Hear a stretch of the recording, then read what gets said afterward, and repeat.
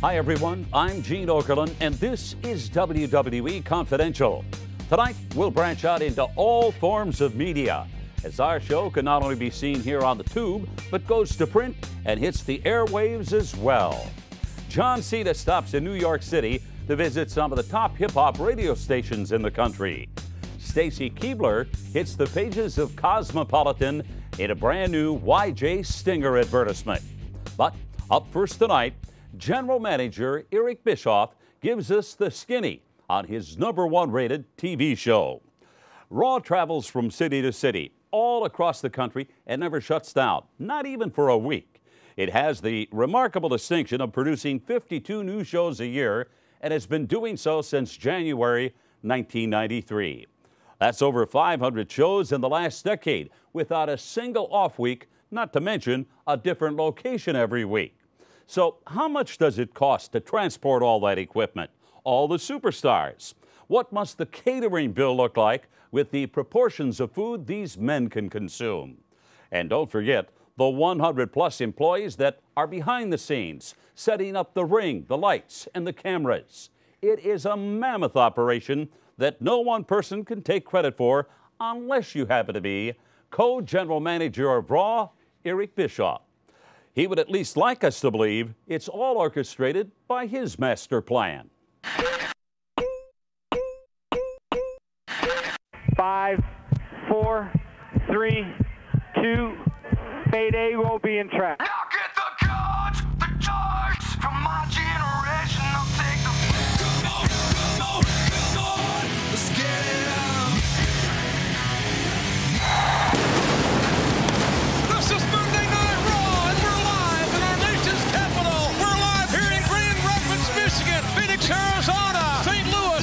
Eric Bischoff here, and we're about to kick off another live presentation of WWE Raw. We're in Huntsville, Alabama. In the sold-out Ron Civic Center, Huntsville, Alabama. You know, people don't really understand just how big of a production Raw is. Just to give you an idea of the size and scope, if you look over to my right, you'll see a couple semi-trucks. These trucks carry everything from lighting grids to staging to audio material, cameras, everything that the crew needs to stage WWE Raw. As a matter of fact, there's 17 of these trucks that show up starting at about 6 a.m., depending on where we're at, whether it's East Coast or West Coast. You look over to my left, you're going to see the heart and soul of WWE production. That's the production truck. Everything that you see on the air, everything that you hear on the air starts from that truck.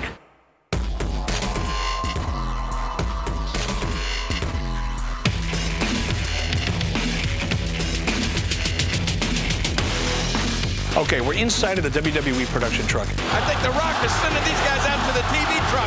Shane McMahon in our television truck. And I'm here with Marty Pingree. Marty is a WWE technical manager, basically knows everything that goes on inside of this truck. Marty, it's good to see you again. And by the way, I got your call about the raise. It's on my list of things to do. It's not high on my list, but it's on the list. Appreciate that. We're in the area of the truck called the tape room, if you will. And explain to us exactly what goes on here. This is where all the cameras are recorded. Anything that happens inside the arena, outside the arena, anything going on, this is where we can record it. And we can play it back instantly. So if something really, really spectacular happens, say, for example, the time that I beat Shane McMahon, This is unbelievable. I cannot believe it. Eric Bischoff just beat Shane McMahon. Of course, director knows that the audience is going to want to see that over and over and over again. So Right. he'd be basically calling those shots up from back here, correct? Exactly. Each one of those monitors represents what a particular camera is seeing out in the arena. And when the director says, I want to see what's on camera four, you got to press a button. I'm the one that physically pushes the buttons for everything you see on the air. Put that still up there. I want Austin's property up in the Titantron. Put it up. Put it up. Let me ask you a question.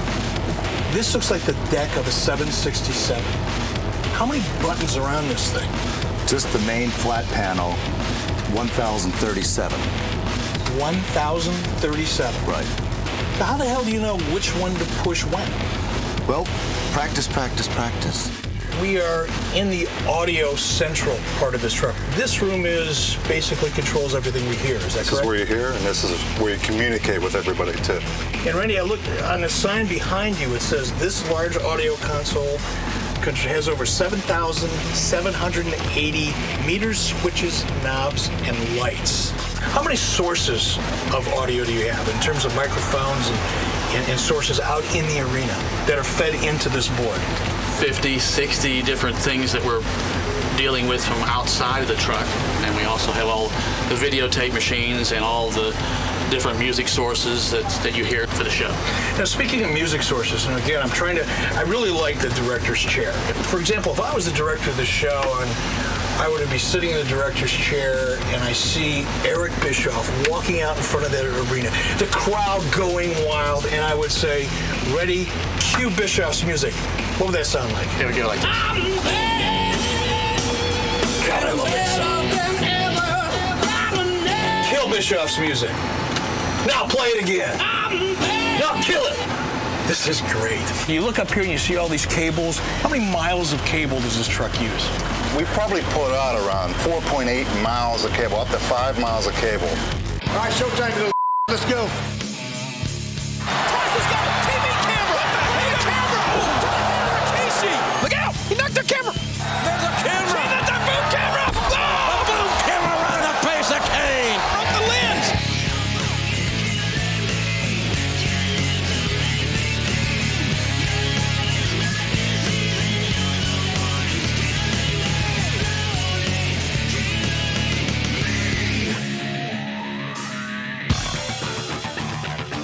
Now, a little known fact uh, Eric Bischoff got his start in television as a production set designer, and I personally design everything that you see on Raw, from the lighting grid to the lighting itself, everything.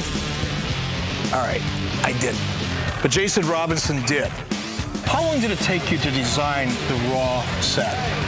Well, it probably took us about three to four weeks to get it completely designed from first concept to what would actually work in arenas to where we wanted to see what will actually work with our television cameras. The Titantron. That's a monster. Michaels, look at this! He's climbing up the Titantron! Raw has traditionally been about the Titantron. So we figured on the next time around, The Titantron is being pulled down by the Big Show! Stone Cold is tearing Titantron! we needed a bigger and badder Titantron, and that's what we got. 50, 5 feet wide by 25 feet tall. It takes three 18,000 watt projectors to light it up. It's almost double the size of the original Titantron. What does it weigh? 4,000 pounds itself.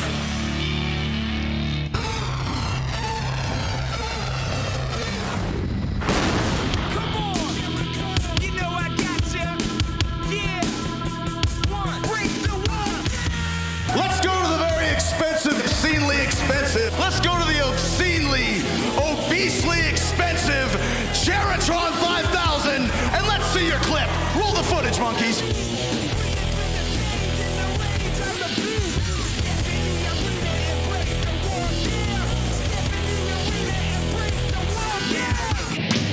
Looking at that grid, you know, it looks like a giant aluminum spider.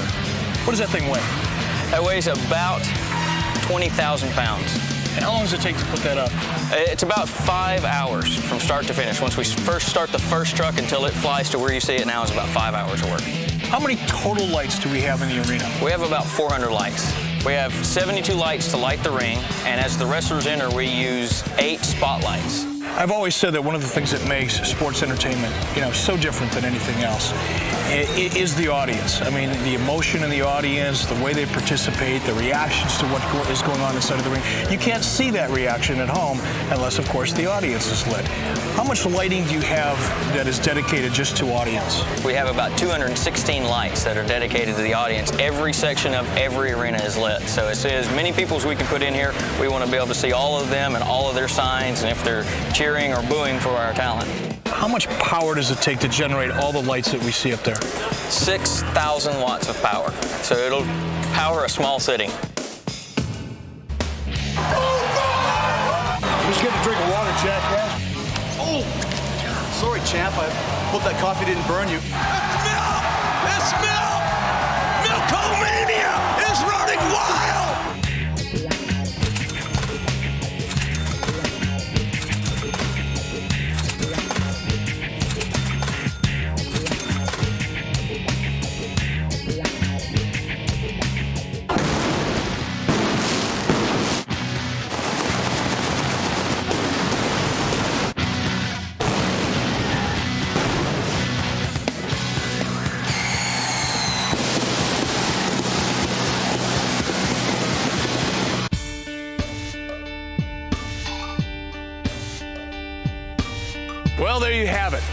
A 10 or 11 million dollar production truck, 120 production people, 75 WWE superstars, and of course, yours truly. All of it to bring you the most exciting form of entertainment you're going to find anywhere in the world. And now, when you watch the show, hopefully you'll appreciate exactly what goes into it. Now, it's almost showtime. In a couple hours, the Titantron's going to be filled with action. Every one of these seats are going to be filled with people. They'll be screaming, cheering, booing. Pyro will be going off. Hope you enjoy it. I know we will.